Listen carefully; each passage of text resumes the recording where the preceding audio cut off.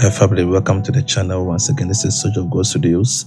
My name is Brother Prince, and we are going to listen to another advice from Pastor Chris. I believe this advice is um, to a question that many of us also do ask. Um, let, let us listen, and we shall come in to explain what we've learned from Pastor Chris. Catherine from South Africa. Dear Pastor, is it wrong for born again Christian to hang around with old friends who are not born again? Mm, well, hang around is what I would like to look at more clearly. When you give your heart to Christ, you become a member of the kingdom of God and you become his representative. And you are expected to reach your old friends who haven't known Jesus. So you've got to reach them. You have to go back to them and share the word of God with them. You've got to minister the word to them. You are the Lord's representative to your old friends. The difference is you cannot fellowship with them. See, you you may move among them for the purpose of witnessing to them but you really can't fellowship with them anymore because you have a new set of values. Your life has changed.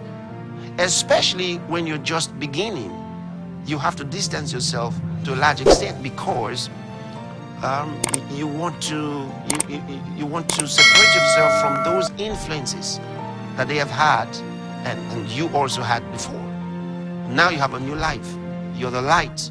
Why shining the light on them and to them you have to walk a different route. So that's what it's all about. Fellowship you cannot have with them. But contacts with them, yes, you'll maintain because you seek to reach them. So your new your, your new friendship has to be redefined. Or your friendship with them has to be redefined. Wow, family. This is a very deep and uh, and a precise advice to all of us family. So I believe that when we all give our lives to Christ, uh, we still have friends that we were with, right? Either friends from the area where we stay, friends from school, you know. But the question is that as long as you have given yourself to Christ and now you are now a Christian, should you still fellowship, be with them, with your friends? Pastor Chris made it clear based on the Bible that no, right? You can still maintain contact with them because um, you have given yourself to Christ. They are not your enemy, right?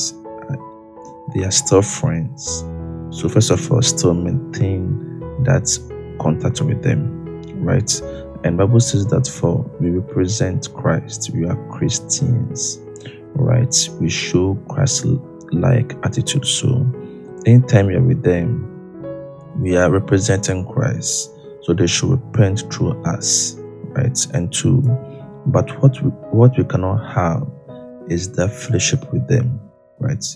So you cannot go to the bar with them as used to, you know, or go and chase boys or girls with them, right? And some conversations, you know, we should stop all this. Things. I love the way Pastor Chris said it that because if you are new you have to also distance of them with them so that they cannot have that kind of influence on you again so if assuming you used to go out with friends to to the bar to drink i don't see why you have to always sit in the bar again with them no but if you sit in the bar with them you can be influenced to taking alcohol right?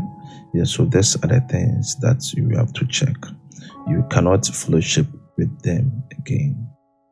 Family, thank you very much for watching. I believe this advice from Pastor Chris has really opened your eyes. So God bless you. I'll see you in the next video.